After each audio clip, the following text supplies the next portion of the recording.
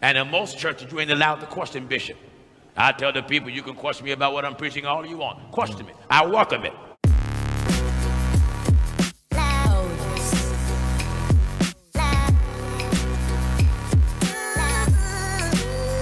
There aren't too many people that you can talk about on YouTube that is not going to get a strong reaction from one side of the crowd or the other. It doesn't matter which way you view this person, whether you're for him or against him, especially if you're for him, you're going to see a lot of strong, in many cases, visceral reactions from people who are for Gino Jennings. Say anything, anything that sounds like any sort of critique, they're coming at you. Now, I first heard of Gino Jennings probably about a year ago. And when I first heard him, he was making a comment or it was about a statement or something that TD Jake said. And I'll cover that, that in a little bit. But what I heard, say, oh yeah, this guy's on. And so you know what YouTube does. It refers more uh, of his content to you or anyone making content about Gino Jennings. And so I got more. And as I became more familiar with him, I began to notice some things that were just really alarming. Now, let me say this up front. The Gino Jennings style is going to appeal to a lot of people. He does make a lot of good points on a lot of issues, particularly some of the issues that are social in nature and then kind of giving a biblical response to it, such as the way men and women dress. You have some first lady in churches, pastor wives. You look like this. You let your children look like this. You let many of the mothers in the church look like this. You go to so called Christian concerts, and the women look like this. The Bible says, in like manner also, in like manner also, that women adorn themselves in modest apparel. What is so modest about this?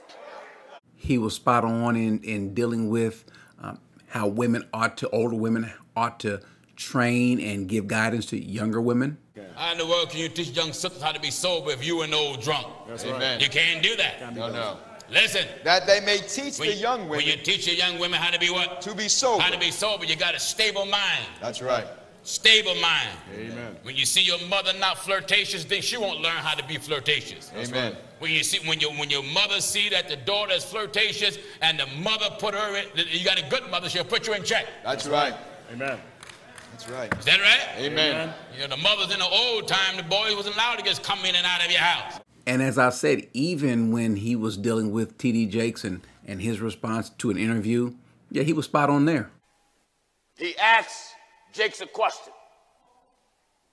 Can homosexuality, in fact, the interview is on YouTube, can homosexuality and the church coexist? Jakes didn't stutter. He said, Why, certainly. Then Jake said, There's many ways. There's a whole lot of ways to get to God. You's a liar. I even saw an interview that he did at some radio station, and the way they were kind of going at him, they were wrong, and Gino was right. Gino comported himself in a, in a mature manner, respectful manner. Uh, he didn't attack them, but he made his point as to why he's saying such things. And so there are some things that I can go along with Gino on these things. However, there are some things that I don't agree with, and I need to say something. Now, I really do believe, I really do believe that Gino Jennings is sincere.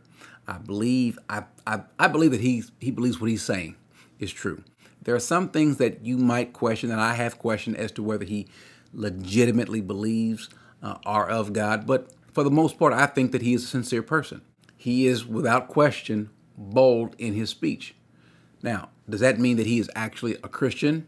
Well, we'll discuss that as we go. Because remember, and I'm not saying this right now, but being bold or being sincere does not necessarily mean that you're a Christian. There are a lot of people who were sincere but were sincerely wrong and were not Christian. Are the suicide bombers of the Taliban are they sincere? Sure, they mean what they they really mean what they say. So that doesn't mean anything. It's just your doctrine that has to line up, has to comport with scriptures for us to see if a person actually really is a Christian or not. I've said in the past that if you want to know if you're a leader, then what do you do? Look back. If you don't see anyone following, then you're not a leader. The same holds true when you want to see what kind of a leader you are. Look back, see what kind of people are following you. I say that because when you, you look at the people that follow Gino Jennings, you get a clear indication of who Gino Jennings is himself. And I don't mean a random, you know, one or two or three different followers who don't behave a certain way. No, a lot of times they mimic who the person is that they're following. You'll see a lot of name calling and insults that are hurled around, and they really mean that. The, the vitriol that comes from these so-called, these professing believers, doesn't really sound all that godly oftentimes. These people tend to be kind of loud, rude, as I said, insulting, and I'm just going to be honest, sometimes a bit uneducated. Not that you have to be educated to understand the scriptures or to be a Christian, no, but some of the things that you say is like, wait a second, that didn't even make sense. That wasn't even one a mature statement. To give you an example, let me just show you some of the uh, comments that I have received from a lot of his followers on a video that I did, basically saying, no, Gino, you are not an apostle. These comments are, there's nothing godly about it, but those are the ones that you really don't have too much of an issue with because people are going to say and do childish and silly things. The ones that are the more disheartening are the ones that seem to elevate Gino to a status that is not reserved for a common man. Not just to the status of an apostle, but something even more special than an apostle, almost on the lines of deity himself. I know they don't think that he's deity, but the way that they reverence him, that's only reserved for God, right? And as you see, they like that tough talk, that bravado. They like to give it. The only problem is, oftentimes, they don't like to receive it. But me, listen, I don't mind giving it the way you like to receive it. So, with that being said, let's get to it. When you watch Gino Jennings and you look at his church services at the First Church of Our Lord Jesus Christ, I think that's what it's called, and even the YouTube channel, one of the first things that stick out is kind of the control that he has, not just over the men in the pulpit with him, but also the control that he has in the audience. You'll notice that he has the women separated from the men for the most part. You'll notice how the women are dressed. They cannot come there without having their head literally covered in some sort of hat or scarf or, or some sort of cloth covering. He takes this verse really seriously, really literally it's almost a Nation of Islam esque type of approach that he has. Eh, that's where, if, if you're wondering where you've seen this before, well, look no further than Louis Farrakhan. Am I saying he's a Muslim? Am I saying that he's an admirer? Maybe in his style, but he's not promoting Islam or the Nation of Islam. That's not what I'm saying, but just his style. Even to the point to where his Bible, someone pointed this out, that his Bible even looks like like a Quran. It's designed in the way that a Quran is. Again, that's just some things that just you just notice those things. Plus the fact, not just the separation of the men and the women, but the guys that you have on stage, the I don't know, you know, not that it's a wrong, it's a it's a bad thing or it's a sin, but it's just it just sticks out the man that you have beside you always as almost like a hype man, not just reading scripture, but he just kind of he preaches along with Gino. I'm not sure what what, what the gentleman's name is, but it sticks out. Not a big issue though. It's not an issue where you say, you know what, I can't listen to him because of that. That that he's ungodly because of that. Is there a scripture that says you shouldn't separate the men and the women? No. But you would think that you would have the husbands and the wives there together, sitting beside each other. Something else I'm going to point out about the men and the women that happens that seems to happen in worship with one group versus the other that just really odd. And his style, like I said, is is is a little little different. But I could let all of that go. It wouldn't bother me too much. Okay, that's just that's his personal style. A lot of preachers, a lot of pastors have their own personal style. I could let that go. What I can't let go is the doctrine.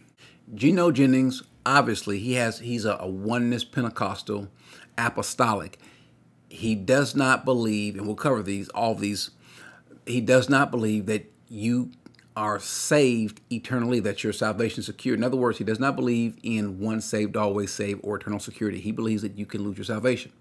And we've gone over this a bunch of times in different passages, but it's clear one, what God says is that uh, He is going to sprinkle our hearts clean.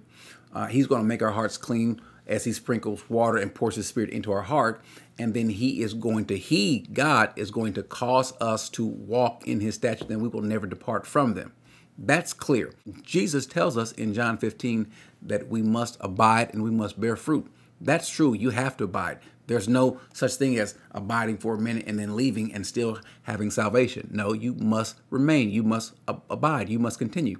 But then he goes on to say later on in John 15 that he has ordained us or appointed us or placed us to continue and that our fruit should remain.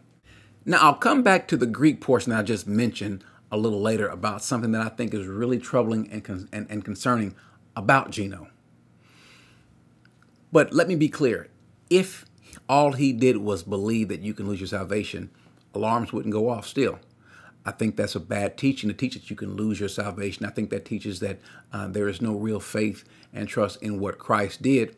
But many people who love the Lord, I think who love the Lord, um, hold to that, or people who struggle with this thing uh, as to whether you can lose your salvation. There are many folks who struggle with that.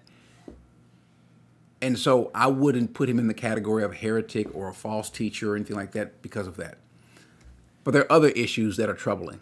Most notably, that the, the first thing that, that sticks out is the fact that you call yourself, he calls himself an apostle.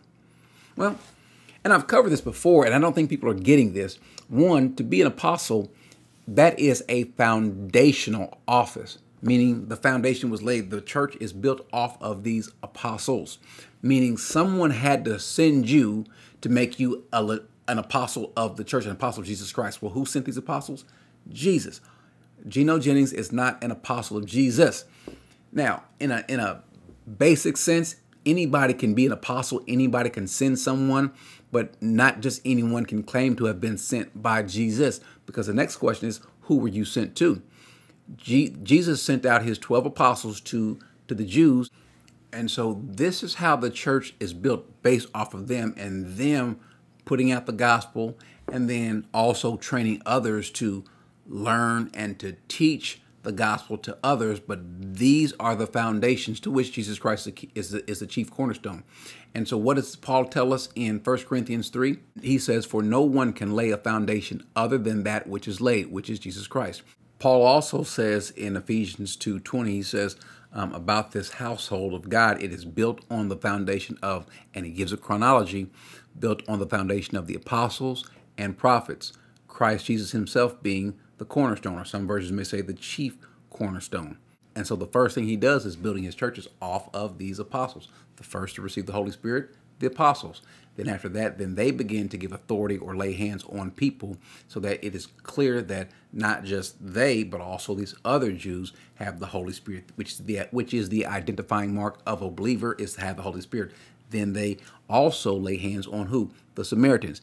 Remember, he gives a chronology uh, to them in in Acts 1 8 that you should be my witnesses first to Jerusalem and Judea, the Jews, and then Samaria, the Samaritans, and then to the rest of the world.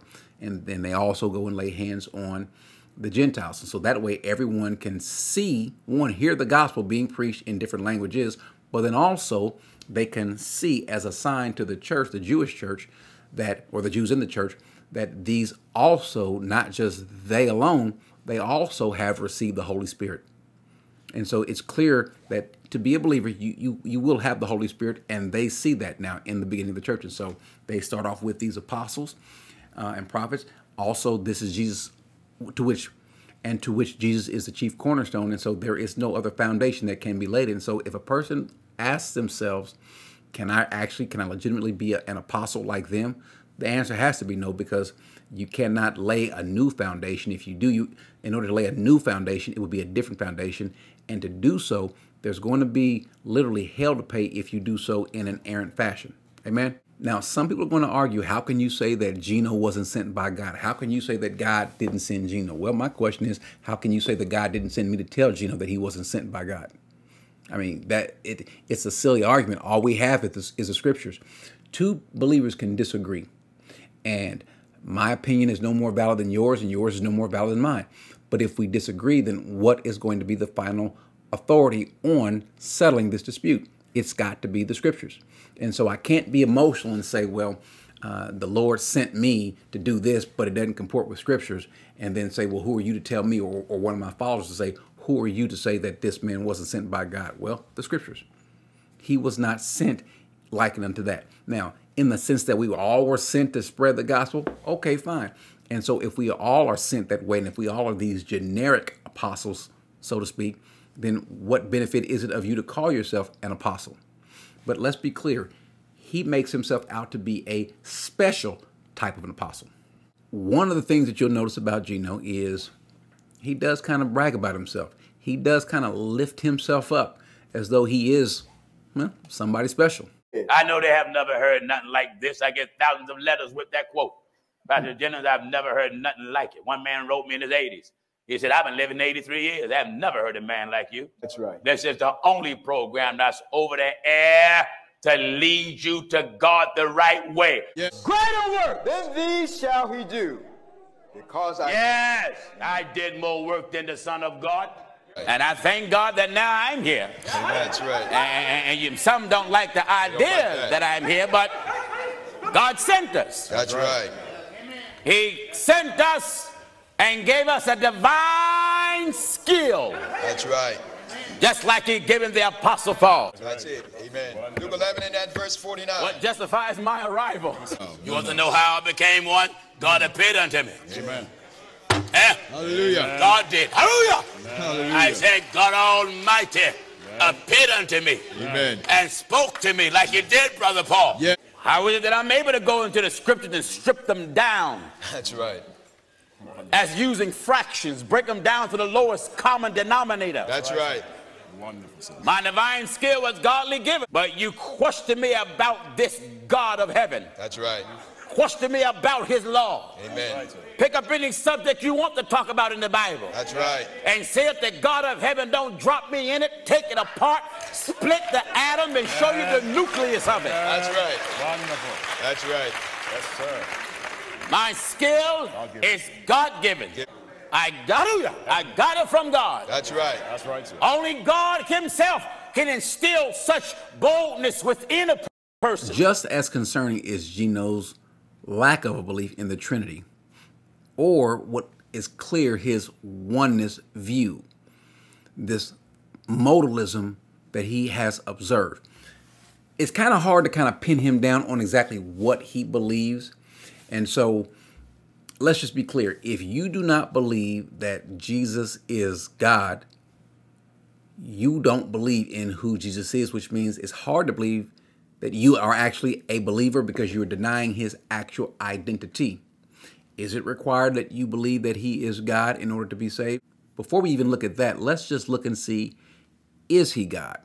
We know Acts 1 8, God calls Jesus God. That ought to settle it. If God himself calls him God, well, then he is God. And we see that uh, God has shown up in the flesh in the past. Uh, the term is given to him angel, which doesn't mean that he's an angel like the like his angels of heaven, like Gabriel or Mark. No, in a sense, he's a messenger. It's just just a title to give him, but we know that he's not any old messenger. He's not any old angel, because in Genesis, when he speaks to Hagar, when he speaks to Balaam, when he speaks to uh, Joshua, when he speaks to Gideon, when he speaks to Jacob, he's called God. He is identified as God. This is God who's speaking to us. So we see God take on flesh. And, and we see in the fire in Exodus 3 that God is speaking through this burning bush. And so God takes on not flesh in the, at this moment, but takes on fire. And so if he can wrap himself in fire, he can certainly wrap himself in flesh. He can come in a veiled glory just to be in our presence. And so in Exodus 3, notice the terms that, that are giving that are given to God. He's called the Lord, the angel of the Lord, and God. That's clear. But then he also says, when Moses says, Who shall I say sent me? What does he say? I am. Remember that. We're going to cover that in just a second. But in John 1 1, the Bible says, In the beginning was the Word, the Word was with God, and the Word was God. And so what you'll notice in John 1, it says that anarche and halagos, which is your English bears this out just the way it's written. In the beginning was the Word. Kai halagas ein prostantheon, which is, and the word was pros with God. That's exactly how your English says it. And so let's see what else it says. Kai theos ein halagas. That's if we were just to write it in word order in English, it would say, and God was the word. But your English version says, and the word was God. Why is that? Well, the reason why it's it's written differently and the reason why our English has the two flip-flop in the third portion is for this reason. The one thing that we have to identify is what is the subject and what is the predicate nominative, because in this case we have two nouns, logos, word, and theos, God. So which one is the subject? In this case, it's not theos, it's not God is the subject. Logos is the subject. So what is theos? Theos is what's called the predicate nominative. And in Greek, the rules of grammar state that the predicate nominative describes what the subject is or what is classified as or under. So in this case, the word is classified as God. The word is God, which is why we say in English, our English translation say the word um, was God, was with God, and the word was God.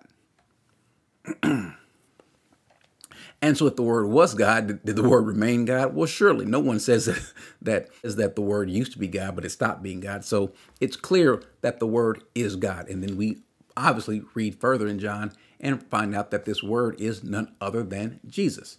And so it's important to know that Jesus is God. It's important to understand the deity of Christ in order to be saved. Well, we know as we as we found out in Exodus that that God is also called the I am. And you've heard it spoken of over and over again about how Jesus is the I am. We know that the I am um, is taken as, as, as deity. We know that the Son of Man and Son of God is also to be taken as God. When you say that, you're saying, I'm God. How do we know? Because the Jews accuse Jesus because he says, says those things that you are, being a mere man, are calling yourself God. And Jesus didn't deny that because he is God. And so, is it important? Is it necessary? Well, let's look at what John says in chapter 8, verse 24. He says, I told you that you would die in your sins, for unless you believe that I am, he will die in your sins. So, unless you believe that I am, well, I am what? Well, that's where the Greek comes in as well. Look over here, it says that en garme, which is for, this is post positive. So, for uh, en me, which is unless, unless pistusete hate, which is believe that ego eimi. There it is, the word ego eimi, which is I am. And so he's saying that unless you believe that I am God, he says, um, you will die in your sins. So that part is clear. Unless you believe that he's the I am, that he is God, he says you will die in your sins. Do I think that a person needs to believe and understand all that there is that could be understood about this triune existence, what we call the Trinity? Do I believe they need to understand that fully to become a believer? No, because who does? You've got scholars that wrestle with how to make this fit. It's hard to explain who he is because he's God. He's not like anything that we've seen. And we know he's God because what is he doing in John 17? He's praying. Yeah, he's praying to the Father because he's in a veiled form. Do not misunderstand his existence on earth in his earthly ministry as meaning that he is less than God and not God. He he came in a veiled form, in a form lower than angels, but he prays and says, Father, give me back the glory that I had with you in the beginning. We already know that God does not share his glory, and this glory that Jesus is is, is wanting back, he's wanting back because he had it when in the beginning. On top of those things that are also concerning is his belief in one, water baptism, two, it has to be done verbally in the verbal name of Jesus. And then three, there must be this evidence of speaking in tongues. One thing that Gino doesn't understand is what it means to be in the name of. Jesus would not give them a charge to go and baptize in my name and then have and then have them do so in the name of the Father, the Son, and the Holy Spirit. And that if they didn't mean the same thing, then that would be a clear violation of what Jesus told them to do. And so do we have the apostles operating in error? No. Because what Gino has not has failed to realize is that it's the same thing. And he doesn't mean to say this verbatim to give this verbal command, this verbal statement over someone being baptized. That is not what he's saying.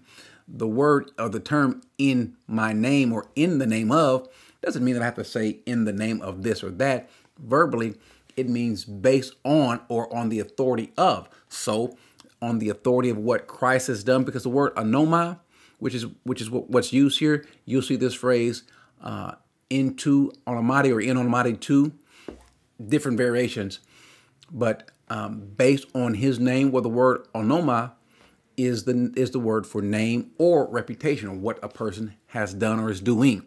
And so, based on the authority, the name, the reputation of Jesus, which is the same as the Father, the Son, and the Holy Spirit, then it means the same thing. It's not like Jesus did something, the Holy Spirit did something, and the Father did something. They all did something separate. No, it's what Jesus said to do. And then, secondly, just as important, is he's not talking about a physical baptism. That's not what's in play here. Remember, we are all going to be baptized into the Holy Spirit. Paul tells us so in 2 Corinthians 12, verses 13. And so every believer has been baptized into the body. Every believer, whether, whether they've been a believer um, for one day, for one minute, for one hour, for one week, one year, one decade. We all have the Holy Spirit. We've all been baptized into that body or made a drink of that Spirit, all of us.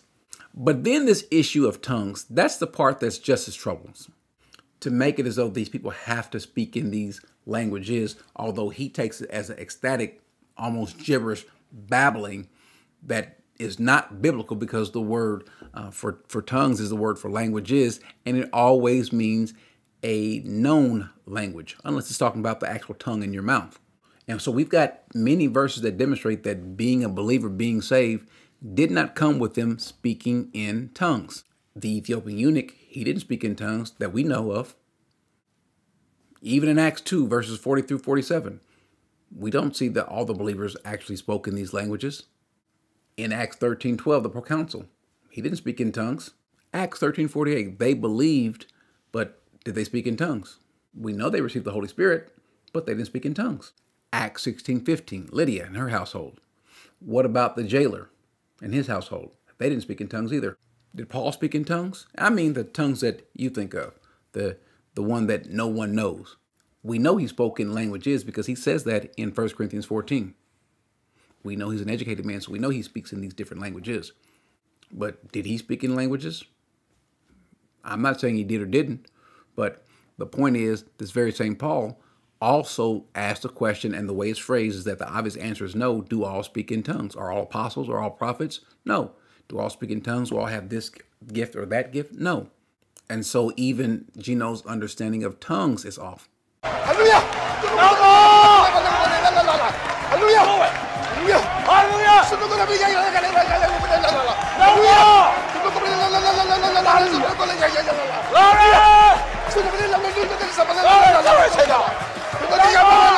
来来来来来来，哈利路亚，哈利路亚，哈利路亚，高来来来来来来来来，什么来来来来来来来来来来，高来，这个哈利路亚，哈利路亚，哈利路亚，哈利路亚，这个哈利路亚，这个哈利路亚，来吧，来来来来来来来，高来，哈利路亚，哎，路亚路亚，哈利路亚，哈利路亚，高来，这个哈利路亚。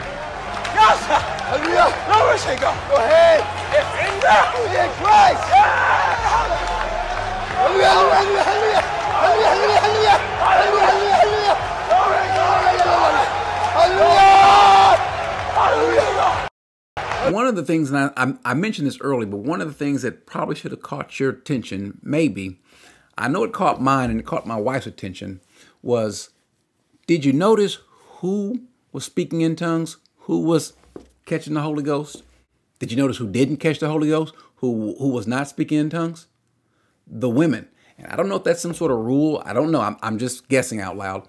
But is that some sort of rule where the men catching the women? I've never been to a Pentecostal church, a charismatic church, where the women sat still while the men caught the Holy Spirit. I've, I've never, as a matter of fact, you're almost always going to see a woman so called catch it before the men, or definitely you'll see more of them. But in this case, I'm just wondering that may speak to the level of control that he has over the services and how he demands service to be done, and that maybe he does require the women to keep silent, literally keep silent. And that's not saying that I support women leading men in service, no, but they can't utter a word. See, one of the hallmarks of a mature believer and certainly of someone who's leading a body, it's got to be maturity, not just in the word. That's a given. You must be mature in the word, but also in just the way you comport yourself, the way you act. And so to let loose and have this uncontrollable outburst and so-called in the spirit, I think that's unbiblical. But also laying that aside, even when he has debated people how he's just really lost control, he has this he has this almost childish bullying behavior. Hold on. No, no, no, no, no. No, no we're going to stay with the subject. We're going to say one thing at a time. You won't let me get nothing across. How many did Jesus preach? Answer my question. You better not grunt nothing else. How many did Jesus preach? Jesus. Oh, oh, oh, oh, oh, did oh, Jesus oh, oh. preach six or did he preach ten? Hold, I hold, dare you to tell me he said ten. Hold, hold, hold, hold, hold on. I'm not a horse. Don't tell me to hold. Jesus. Never mind your Can, microphone. can I speak? Get your chapter. Can and I speak? Talk Bible. Can I speak? Talk Bible. Can I speak? Talk Bible. Can I speak? Call your chapter. Can I speak? Prove that women is older than the word and women can wear makeup. Back up the two lies that's on the floor. Yeah, I need time to speak. Speak that. We've been wasting time, Come on, Pastor. Vegas. Pa- We don't want your lying mouth. I know your style. You said that I the know your style. is older I know your style. than the word. You either debate Pastor Jennings or sit down. Hold on. Be a hold man. on. Hold on. Be a man. Hold on. Hold Be on. a man. Hold on. So you, debate Pastor you, Jennings okay? or sit down. You as the pastor, you need to control Either your you sheep. Debate Pastor You need to control your like sheep. a man. Let me speak. Now sit down. Let me speak. Debate Pastor Jennings like a man. Let me speak. Or sit down. Let me speak. Debate Let me Jennings speak. like a real man. Let me know. Let me know when you're Or sit down. Let me know when you're finished. If you you, don't, told a lie. if you don't allow me to speak, You told a lie. I want to speak. I want Bible. I want to speak. I don't want your mouth. Now, now what I want to I say is, want your mouth. what I want to say is, if I, I, want can, Bible. you got I want Bible. sir. You're leading. I want Bible. you are leading sheep. I want Bible. You're leading sheep. I want Bible. Do you feel the bite? No. we like to finish the text. Brother Smith, We like to finish the text, sir. Just Can a we- minute. Can we finish the text? So much so that he will not let you finish um, or say what you want to say unless you say it the way he does it. Which brings me to this. People have stated before, and I listen, I've done this, I've offered, request has not been accepted, and so I'm good with that. As a matter of fact, I doubt he would. But I people have said, why don't you debate him? Be a man and go debate him, which is them with that, that whole bravado. Be a man and go debate him. Well, tell him to be a man and, and accept my debate. But he won't, which is fine. I don't think that, that that him not accepting my debate is not being a man. Now, one, I would never be so silly as to debate him on his home turf in his church with his own personal moderator there. That would never happen. It would be something where it's just he and I alone having our own Bible, we're reading ourselves and having discussion with the word. But he's already stated that he would not debate someone like me. He wants someone, as he as he says, a whale. You know, I don't debate everybody. And the reason why I don't debate everybody, a lot of these men don't want to be right. They just want to make a name for themselves off the popularity of the platform of the truth of God. And a lot of them is mad because we won't let them use our platform. So I'm, I'm just not interested in everybody. I don't want little tadpoles and, you know, little microcosmic things in water that you can't even see. I want whales so I can harpoon them. Them that's affecting the masses of people. Are you getting what I'm telling you? I want kings and queens and big false prophets so I can scale you. Amen. You little pulpit parasites. Need a magnifying glass to just see your level of falseness. I ain't Well, about you. My question is when I go and look at the different debates that he's had, first of all, you've never debated a well yourself. You want to debate a well. Uh, I get you think that someone wants to make their name off of you. Okay, fine. But are you now also wanting to make your name off of somebody that's bigger than you? More folks know TD Jakes than, than they know you. More folks know Creflo Dollar than they know you. But okay, fine. You wanna you wanna, as you say, harpoon the big whales. But again, you never debated one of those in the first place. And then that caused us to look at who have you debated. Gino's only debated people who are suspect in the word to begin with. You debate a Rastafari, a Rastafarian rapper. You debate a person who is gay and who wants to defend homosexuality, trying to use the Bible. You debate a, a Hebrew Israelites. You debate people in the Nation of Islam. You, you debate other Muslims. Uh, you debate a novice in the Bible who even says that he's just learning this thing, trying to get his feet wet. Well, where's the, the debate that you've had with someone who is clearly strong in the Bible, whether you disagree with them or not? Where's that debate at? See, what we can't do is allow a person to say that that um, uh, I am this and I am that, but I can't be touched. I can't be touched or approached by anyone. That no one can call him out. Now, this is what he says. You can't come face the truth of God with Hebrew, Greek, and Latin. The only thing work here is Bible. Amen. Bible work here. Your Hebrew, Greek, and Latin is good. But brother, it don't help you here. But see, the problem is, Gino, it is an issue when you don't know the language. When you tell a person that Hebrew, Greek, and I don't know why you said Latin, it's not a lot, Latin's not in the Bible. Uh, but when you make these statements, no, uh, only Bible. Well, your Bible is Bible because of Hebrew, Greek, and Aramaic. So you don't have it without that. And it would make sense, I believe, that a pastor, especially one at your level, should have some familiarity with Hebrew and Greek. You just should. That way, some of these mistakes that you make, you wouldn't make these mistakes.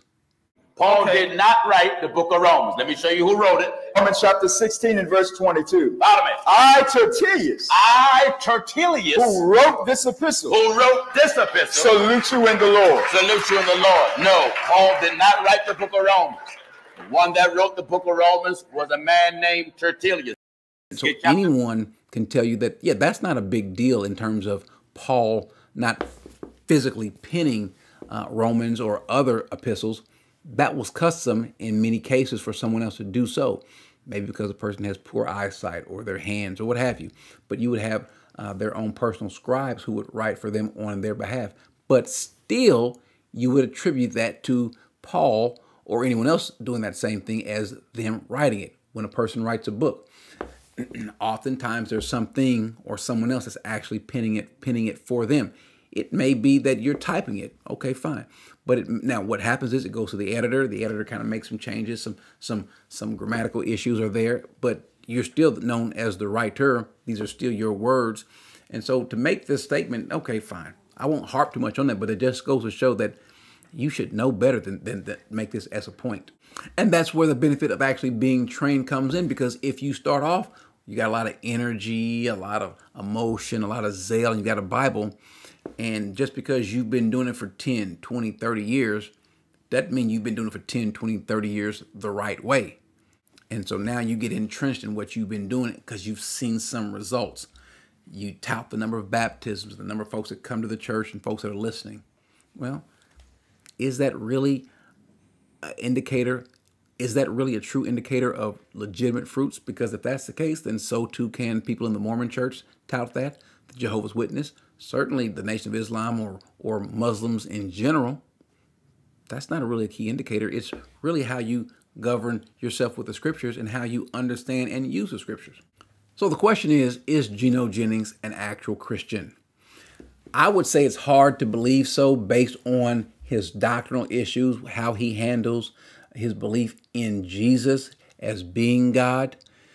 now, it could be that he may believe that he is God and so forth, but he has a, kind of off understanding of the Trinity or of uh, Jesus. He's made the statement that he thinks that we believe in three gods. I don't know who believes in three gods. No Christian, no person that believes in the Trinity believes in the three gods, which is also um, speaks to his level of understanding when it comes to these issues. To, to not intentionally misrepresent the, the, the, the belief, but to unknowingly misrepresented because you just don't know what these people believe after all. And so what's going to happen after this? Well, his his defenders are going to attack me. Uh, I don't know the Lord. I'm this, I'm that, name calling, like it's always been done. I get that. This wasn't necessarily directed at you to begin with, those who are going to respond that way, but to those who are just wondering, those who are looking, because most people don't go to his church. Most people don't watch him a lot. Some do. And so those who are looking at him thinking that that might be acceptable because he's given some good, valid points on some of these social issues concerning homosexuality and transgender and men and women and so forth. Well, even um, atheists have some of these views. Even people who are Muslims, uh, Hebrew Israelites and, and Nation of Islam and, and all these other groups, they have these same views. So that doesn't mean anything. It's the scriptures. And so for you who are looking to grow and to understand the scriptures better, you're the one who I'm talking to. Now, the person's going to come and com- comment with uh, some vile responses. That's fine. You are free to do so. You are more than free to do so. It's going to it's going to demonstrate the actual spirit that's in you. When you comment in an ungodly fashion, don't say that that's God that caused you to do that. Don't say that. And all you're doing is you're mimicking the person where you got it from. Gino Jennings. And so for the Gino Jennings, if he were to hear this, if he were to say that um, all his doctrine is correct, that it's right, and that he is a true apostle, well, Gino, you's a liar.